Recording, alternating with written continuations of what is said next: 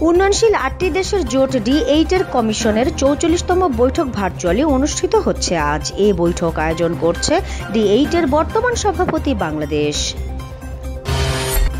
প্রতি কিলোমিটার ষাট পয়সা ভাড়া বাড়ানোর সিদ্ধান্তে আবারও শুরু হয়েছে লঞ্চ চলাচল। সর্বনিম্ন ভাড়া আঠারো থেকে বাড়িয়ে করা হয়েছে পঁচিশ টাকা। ময়মনসিংহে বাবাকে হত্যার দায়ে সোমবার মামুন নামের এক যুবককে কারাগারে পাঠিয়েছেন আদালত।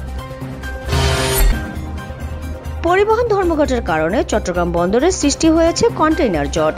ফলে জাহাজ থেকে কন্টেইনার খালাস না হওয়ার আশঙ্কা দেখা দিয়েছে। দীর্ঘ বিশ মাস পর ভ্রমণকারীদের জন্য সীমান্ত খুলছে যুক্তরাষ্ট্র। ফলে টিকা নেয়া যে কোনো ভ্রমণকারীর যুক্তরাষ্ট্রের প্রবেশের আর কোনো বাধা থাকছে না। এবারে টি টোয়েন্টি বিশ্বকাপের সেমিফাইনালে থাকছে না বিরাট কোহলির ভারত। শেষ চারে উঠেছে ইংল্যান্ড, নিউজিল্যান্ড, পাকিস্তান ও অস্ট্রেলিয়া। শোবিজের প্রিয় দুই মুখ, তাহসান খান ও আদিল হোসেন নোবেলকে এক ফ্রেমে দেখা গেছে। তাহসান ফেসবুকে ছবিটি শেয়ার করে প্রশংসা করেছেন নোবেলের।